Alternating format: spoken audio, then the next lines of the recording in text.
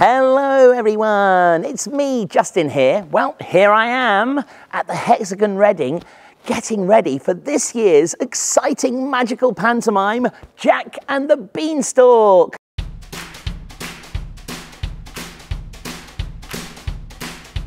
Oh, I love performing at the Hexagon. In fact, it's my 10th year this year, so I'm super excited. I love performing at the Hexagon because of the audiences. Every year they blow me away. They are so wonderful and I can't wait to see them again. The Reading audiences are loud. Like, they, they do seem especially loud compared to other places in the country. We just need a laugh. We've had a rough couple of years and it's just good fun. And we can relax for an hour the whole family can enjoy it together. And let's face it, Justin and I are in it. Refunds are available at the back. My favourite thing, of course, is the audience. I get to meet the audience, not just during the show, but after the show too at the stage door. I love the costumes with the amazing colours. I love the over the top characters. I love the Dame and what the Dame gets to wear. I'm very jealous. Panto is uh, many people's first experience of theatre.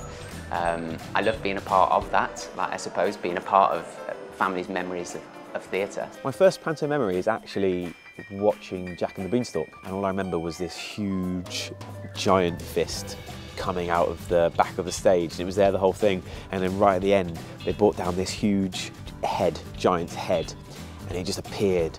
I just remember thinking to myself, wow, that's so big. I think my first pantomime, I think I was about eight or nine, and it, it was Cinderella. And I was just absolutely captivated. And I thought to myself, one day I would love to be up on that stage performing in such a, a magical fairy tale. I was always terrified of the Dame because they were so big. And now look at me, I'm about eight foot tall. So I would never join in ever um, which if I see someone not joining in, as the audience know, I will have them. There's going to be so many wonderful big characters and costumes and songs for everyone to sing along to. And Jack and the Beanstalk, I mean, I can't wait to see what they're going to do with the giant, and I'm sure everyone else will be just as excited as me. Take care, everyone. Bye bye.